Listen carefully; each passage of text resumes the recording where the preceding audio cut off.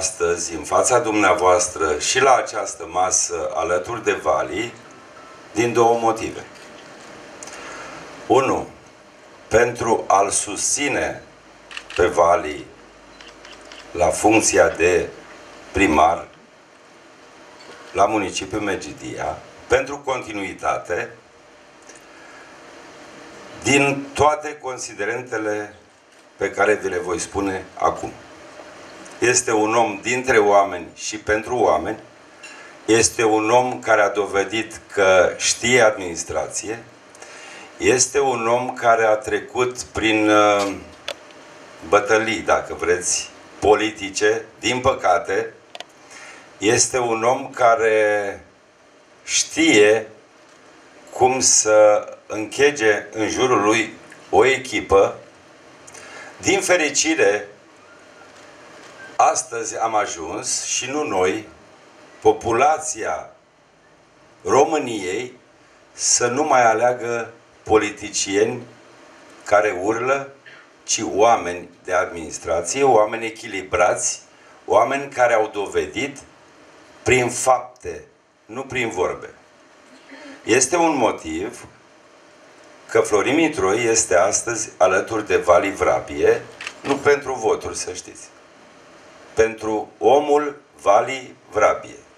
Este un om bun, un om înțelept, un om credincios, dacă vreți, un om care a dovedit că știe să închege oameni, că știe să fie un bun prieten și să fie un administrator pentru oameni. Cred că Vali Vrabie nu are nevoie de serviciu. Cu siguranță, el este dedicat administrației locale. Și al doilea motiv este că eu candidez la funcția de președinte al Consiliului Județean și am acceptat uh, cu greu Dumneavoastră știți, probabil mulți oameni din uh, județ, colegi de-ai mei, colegi din alte partide, încă din 2008, după primul mandat, când uh, se spunea măi, știi de ce am eu ceva cu tine? Pentru că de la Constanța sau de la Valul Traian la Băneasa, portocaliu se numește Florin Mitroi. Vali Vrabie, primăria Megidia n-a atras niciodată atâtea resurse financiare și atâtea fonduri atrase. Vorbim de peste 340 de milioane de euro din surse publice europene și private. Uh, banii investiți în proiecte care se află astăzi finalizate sau în anumite stagii de dezvoltare. Lucrurile bune, bănuiesc că știți cu toții, sunteți oameni de presă, nu se fac ușor se fac cu o echipă întotdeauna, se fac cu încredere, se fac cu foarte multă forță. Câteodată trebuie să ai răbdare, dar în primul rând trebuie să ai uh, pricepere. Pentru cine are ochi să vadă, este vizibil faptul că în Megidia vorbim de un plan de dezvoltare accelerată. Și eu mă întreb și bănuiesc că vă întreba și dumneavoastră și se întreabă oricine de ce înainte de Vali Vrabie nu s-au întâmplat toate aceste lucruri. De ce n-au venit investitori privați care să genereze locuri de muncă și care să genereze prosperitate în această comunitate? De ce această localitate nu s-a dezvoltat cum este dezvoltată acum? Pentru că nu vorbim de un simplu oraș, vorbim de o localitate cu statut de municipiu. Răspunsul este simplu, pentru că întotdeauna investițiile private le aduc investițiile publice, da? Investițiile publice sunt cele care atrag investițiile private, pentru că investitorii privați vor întotdeauna predictibilitate și încredere și este demonstrat faptul că Vali a fost un partener de încredere pentru toți investitorii privați din această localitate. S-a schimbat uh, Megidia total.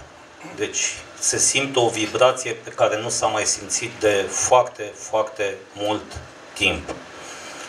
Apreciez foarte mult ce face Vali Vrabi aici și vreau să vă spun un lucru care nu are legătură neapărat cu munca de primar, nu are legătură cu dezvoltarea orașului sau poate că are legătură, nu-mi dau seama, dar uh, Vali Vrabie cu resursele sale de încredere și de voință, a traversat provocări poate, care poate pe alții ar fi doborât. Și faptul că el a reușit să urmeze parcursul firesc al luptei, ne arată un lucru pe care noi îl știm așa din zicale, că ceea ce nu te doboară te face mai puternic. Apreciez foarte mult modul în care comunitatea din Megidia s-a unit și s-a consolidat în jurul Valii Vrabiei, pentru că au înțeles că el este omul de care ei au nevoie. Astăzi, la această masă, avem doi oameni, în primul rând. Avem uh, cei mai populari și cei mai performanți administratori publici din județul Constanța. Evident că vorbesc de Vali Vrabie și de Florin Mitroi, au fost mandate în care ați avut uh, o activitate invidiată de mulți primari din România. Mergidia s-a schimbat foarte mult. Uh, o provocare cu atât mai mare pentru un mandat care vine. Ce puteți să vă doriți mai mult pentru orașul acesta, astfel încât uh, în perioada următoare el să se ridice și mai mult și să, eu știu, îndrăzniți cumva, să arătați oamenilor din oraș că puteți să faceți lucruri mai bune, mai interesante pentru ei? Uh, lucrurile, după cum ați văzut, am prezentat un raport de mandat, uh, au început uh, foarte bine și sunt la un nivel promițător. Experiența, ambiția, curajul, determinarea sunt ingredientele necesare pentru ca cel de-al treilea mandat să fie cel în care succesul, să spun, în Megidia va fi de partea cetățenilor, avantajele să fie în favoarea lor, iar peste patru ani de zile să vorbească de Megidia la nivelul municipiilor dezvoltate, autofinanțate, independente financiar. Noi deocamdată suntem într-o situație financiară în care suntem finanțați de la bugetul de stat, dar lucrul acesta este pe punctul de a se schimba și speranța este că și certitudinea că avem multe investiții, că uh, vom avea o, un municipiu demn de invidiat cu ghilimele de rigoare. Știu că pentru un părinte este greu să-și aleagă unul dintre copii, dar v-aș întreba, dacă ar fi să vă alegeți un proiect de suflet, care ar fi acesta pentru mandatul următor? Este de suflet, este extinderea Spitalului Municipal Medgidia, pentru că asta înseamnă totul, viața uh, oamenii care vă votează, oamenii care ne urmăresc, sunt interesați uh, ce se întâmplă cu infrastructura Primăria Megidia a abordat această situație încă de la începutul mandatului noastră, mandatul noastră. Uh, mai aveți de lucru acolo? Care este situația? Da, mai este de lucru și chiar dacă terminăm într-o parte, normal își termină și expiră uh, valabilitatea celelalte drumuri și o iei de la capăt. Infrastructura este inevitabil perpetuă.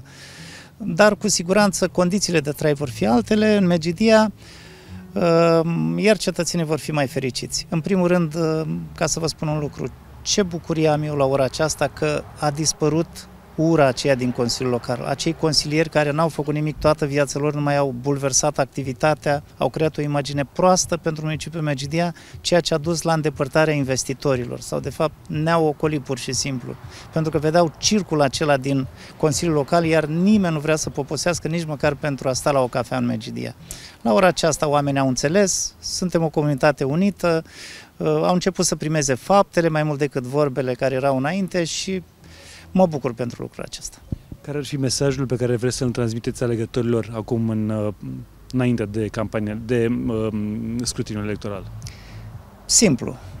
Uh, oameni buni și lume bună, nu dați vrabia din mână.